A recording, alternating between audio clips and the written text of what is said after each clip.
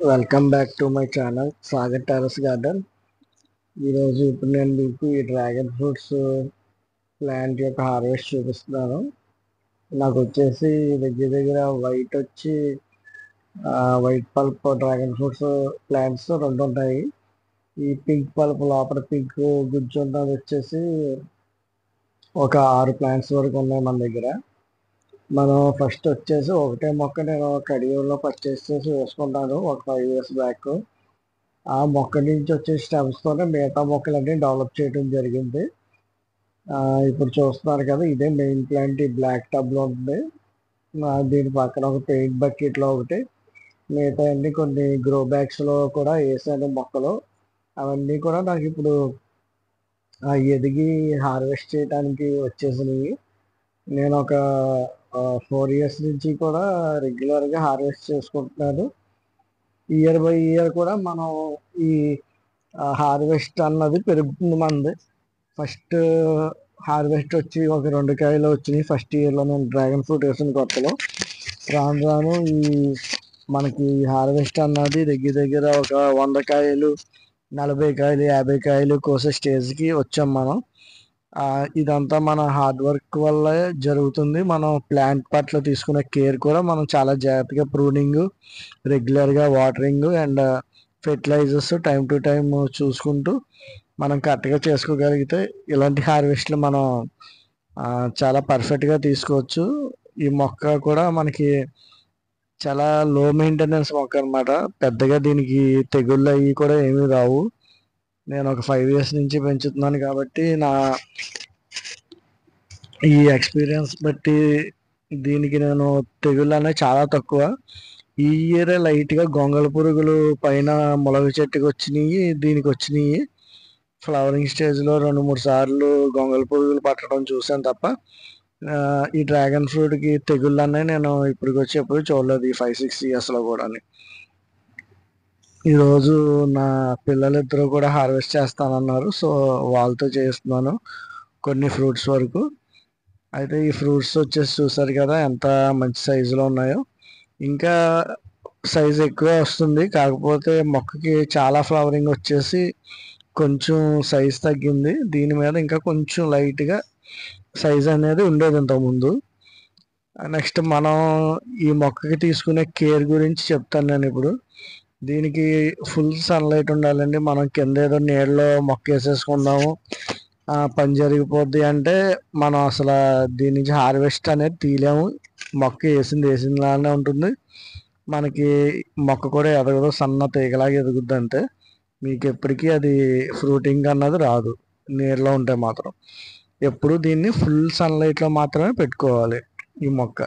మనకి దీనికి ఎంత సన్లైట్ ఉంటే అంత మంచిది అనమాట మొక్క ఎదటానికి సాయిల్ కూడా బాగా డ్రైన్ అయిపోయే సాయిల్ చూసుకొని వేసుకుంటే మీకు బాగుంటుంది. మనం పైగా కుండీల్లో వేసుకోవడం వేసుకుంటున్నాం కాబట్టి మనం ఏం చేయాలంటే దానికి మంచి ఫెర్టిలైజర్ ఇచ్చుకోవాలి. మనం సాయిల్ మిక్సింగ్ అప్పుడే కొంచెం ఇసుక అది కలుపుకొని అందులో bone meal neem powder next మన కిచెన్ వేస్ట్ కంపోస్ట్ అలాంటివి ఇచ్చుకొని మొక్క పెట్టుకుంటే మనకి త్వరగా మనకి మొక్క కాపుకి వస్తుంది. నెక్స్ట్ మనం మొక్క వేసుకునే పద్ధతులు రెండు ఉంటాయి ఇప్పుడుని. మనం సీడ్స్ ద్వారా పెంచుకోవచ్చు మొక్కని దీని ప్రాపగేషన్ కొమ్మల ద్వారా. నేనైతే కొమ్మల ద్వారానే వేసుకోమని చెప్తాను మీకు. ఎందుకంటే మనకి కొమ్మల ద్వారా ముదిరిపోయి ఆల్రెడీ ఫ్రూటింగ్ వచ్చిన కొమ్మలు మనం ప్రూన్ కట్ చేసుకొని వేసుకుంటే మనకి సంవత్సరంలోనే మనకి కాయ తీసుకోగలుగుతాం. అదే మనకి సీడ్స్ ద్వారా వేసుకుంటే మీకు అది మొక్క ఎదిగి అదంతా అవ్వటానికి మీకు దగ్గర టూ ఇయర్స్ పడుతుంది ఫ్రూటింగ్ రావడానికి సో మీరు డ్రాగన్ ఫ్రూట్ అన్నది వేసుకోవాలంటే మాత్రం ఖచ్చితంగా మంచి ముదర స్టెమ్ మాత్రమే వేసుకోవడానికి ప్రిఫర్ చేయండి. దీనికి వచ్చి కంపోస్ట్ ఈ మస్టర్డ్ కేక్ అవి బోన్ మీల్ వేసుకుంటూ ఎప్సమ్ సాల్ట్ కూడా వేయండి. సో మీకు మొక్క మంచిగా వస్తుంది. మనకి ఫ్రూటింగ్ అండ్ ఫ్లవరింగ్ కూడా బాగుంటాయి. మీకు కాయల టేస్ట్ కూడా మనకి ఆర్గానిక్ ఇచ్చుకుంటే మీకు కాయ స్వీట్నెస్ బాగుంటుంది. మీరు కెమికల్ ఫెర్టిలైజర్కి వెళ్తే మీకు ఆ స్వీట్నెస్ అన్నది మీకు రాదనమాట. ఆ ఒరిజినాలిటీ పోతుంది. ఇంకా మనకి ఈ వాటరింగ్ గురించి చెప్పాలంటే మనం ఈ రెయినీ సీజను వింటర్ సీజను మనం పెద్దగా వాటరింగ్ గురించి కాన్సన్ట్రేట్ చేయవలసిన అవసరం లేదు. మనం సమ్మర్లో మాత్రం ఈ డ్రాగన్ ఫ్రూట్స్కి డైలీ వాటర్ ఇచ్చేయండి. మ్యాక్సిమం ఇప్పుడు మనకి ఎక్కువ ఎండలు ఉంటున్నాయి కాబట్టి మీకు ఎండలో ఎప్పుడు ఎక్కువ ఉంటే అప్పుడు మామూలు క్యాజువల్గా అన్ని మొక్కలతో పాటు దీనికి కూడా ఒక మొగ్గు వేసేస్తూ ఉంటాను నేను. మ్యాక్సిమం సమ్మర్లో డైలీ వాటర్ ఇచ్చేస్తున్నాను నేను. ఇప్పుడు సాయిల్ డ్రై సాయిల్ డ్రై అయిపోతే మ్యాక్సిమం ఇచ్చేస్తాను. ఇది కాకుండా నాకు ఈ గ్రోయింగ్లో మనకి మల్టిపుల్ హార్వెస్ట్ వస్తాయి. అంటే నాకు ఏప్రిల్లో మనకి ఫస్ట్ ఫ్లవరింగ్ స్టార్ట్ అవుతుంది. ఆ ఫ్లవరింగ్ స్టార్ట్ అయిన నుంచి డిసెంబర్ వరకు నాకు కంటిన్యూగా కాపు వస్తూ ఉంటుంది అనమాట ఒక మొక్కకి ఇరవై ముప్పై ఫ్లవర్స్ వస్తాయి. ఆ, ఫ్లవర్స్ అన్నీ కూడా మనకి మ్యాక్సిమం ఫ్రూట్స్ లాగా తయారవుతాయి. మొన్న ఈ ఫ్లవరింగ్ వచ్చినప్పుడు రెయిన్స్లో ఈ బడ్స్ అవి ఆ ఫ్లవర్ బడ్స్ అన్నీ రాలిపోవడం జరిగింది తప్ప మామూలు క్లైమేటిక్ కండిషన్స్ అన్నీ కరెక్ట్గా ఉంటే మనకి వచ్చిన ఫ్లవర్స్ అన్నీ కూడా ఫ్రూట్స్ అవుతాయి. కాకపోతే సైజెస్ కొంచెం వేరియేషన్ ఉంటుంది. పెద్ద చిన్న కాయలు వస్తుంటాయి తప్ప మ్యాక్సిమం మనకి అన్నీ ఉంటాయి.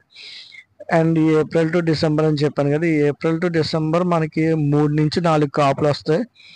ఒక్కొక్క కాపు దగ్గర దగ్గర మనకి ఫ్లవర్ నుంచి అది కాయగా మారాలి అంటే దగ్గర దగ్గర ఫార్టీ డేస్ పడుతుంది అనమాట ఫ్లవర్ నుంచి మనకి బడ్ స్టేజ్ నుంచి కాయ ఎర్రగా తయారై కలర్ వచ్చి ఇప్పుడు నేను హార్వెస్ట్ చేస్తున్నాను కదా ఆ స్టేజ్కి రావడానికి ఫార్టీ డేస్ ఫార్టీ డేస్ లోపు మీకు కాయ రెడీ అయిపోతే అది మనం హార్వెస్ట్ హార్వెస్ట్ చేసుకోవచ్చు.